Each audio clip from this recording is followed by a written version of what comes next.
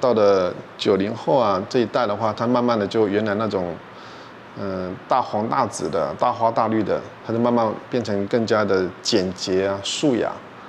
往这方面走的速度啊，比我们原来设想的更快。所以我们在这一段时间的话，会更加的去站在消费者的角度去考虑问题。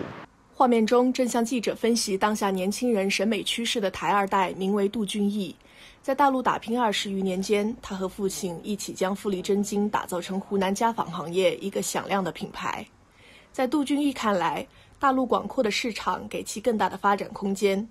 近两年，借助大陆互联网产业发展的东风，他带领员工探索线上营销，同时升级产品设计、卖场空间，业绩稳步增长。目前，富力真金在全国有两百多家门店，其中百分之七十在湖南。在积累优良口碑和忠实消费者后，杜俊义延续父亲稳扎稳打的经营理念，准备拓展与家纺关联度较高的家居业务，却发现商标被侵权了。他随即开始知识产权维权行动。在此过程中，杜俊义多次得到湖南省及长沙市相关部门的协助与指导，最终在2022年取得富力真金第二十类商标，并成功启动新业务板块。杜君玉说。企业维权的成功不仅巩固了品牌竞争力，还更加坚定了他在湖南这片热土持续发展的信念。杜君玉告诉记者，在大陆发展这些年，他感觉营商环境越来越好，所以经常会将自己在大陆发展的感受在两岸交流活动中与台湾青年交流，鼓励他们到大陆追梦。两岸青年融合发展论坛，他不是邀请了大概有三四十位台湾的那种青年过来吗？